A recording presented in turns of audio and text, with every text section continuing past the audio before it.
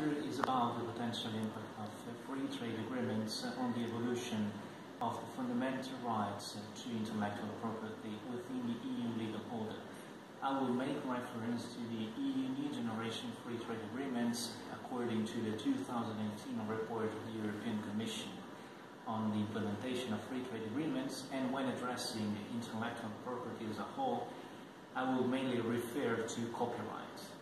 So, the issue of the intellectual property is topical and peculiar at the same time.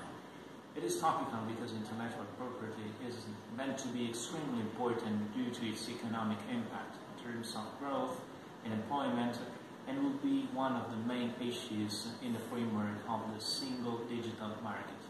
It will also be a key driver for the increase of competitiveness of the European Union as a global actor. But at the same time, intellectual property is supposed to be a very controversial issue in the framework of fundamental rights, and according to many scholars, it does not fit very well within the landscape of fundamental rights.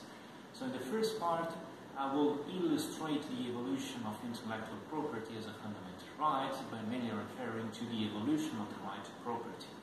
I will take into account, uh, especially Article 1, Protocol 1 the ECHR, and some important norms of national constitutions of the state in order to clarify that right to property is a traditionally weak right and I will draw the attention to Article 17, paragraph 2 of the Charter of Fundamental Rights.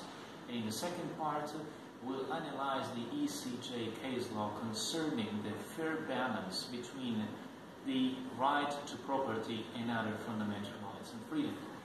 And I will show that uh, over recent years, the ECJ decided to give priority to the right, uh, the fundamental right to intellectual property vis-à-vis other fundamental rights and freedoms. Now we'll explain the main aspects of some important cases such as Deckmyn or uh, Coty Germany or uh, McFadden, uh, Renckhoff and Bastei-Lübbe. In the third part, I will explore the most important aspects of the content of free trade agreements. I will make reference to the IP chapter of those agreements. I will stress the high standards of protection of those chapters compared to the TRIPS agreement and also compared to some pieces of legislation of the European Union. Then in the last part of the lecture, I will try to advise the potential aspect of free trade agreements with regard to the evolution of the right to intellectual property by stressing the importance of the rank of those agreements and by stressing the importance of uh, the uh, possibility for the European Union to negotiate those chapters alone after opinion 250.